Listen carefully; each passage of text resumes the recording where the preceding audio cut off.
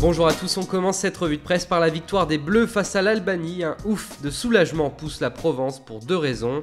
D'abord parce qu'après 90 minutes de médiocrité, l'équipe de France arrache un succès qui la qualifie pour les huitièmes de finale de l'Euro.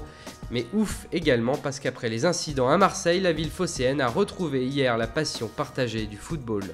En Angleterre, on sort les lions, Wayne Rooney montre les dents avec ce montage surprenant du Sun. Angleterre-Pays de Galles, match qui passionne les débats outre-Manche.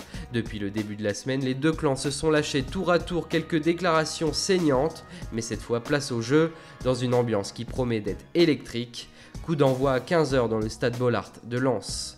Toujours chez les Anglais, le média indépendant annonce qu'un groupe d'investisseurs chinois proche du gouvernement en Chine est prêt à sortir le très gros chèque pour racheter le club de Liverpool.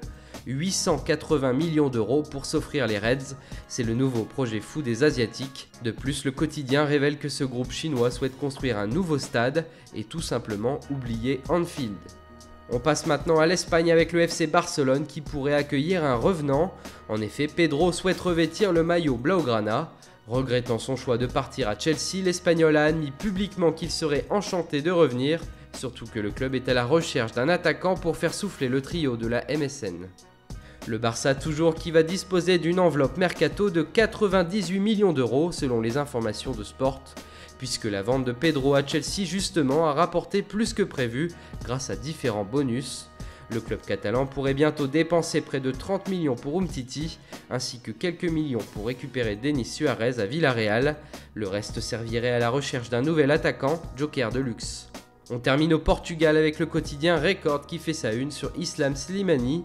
D'après le journal portugais, la clause libératoire à 30 millions de l'Algérien vient d'expirer et son club, le Sporting, l'estime aujourd'hui à 80 millions d'euros.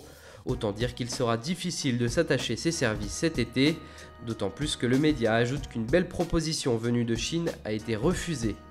Voilà, c'est tout pour aujourd'hui. Bonne journée à tous sur Foot Mercato et rendez-vous dès demain matin pour une nouvelle revue de presse.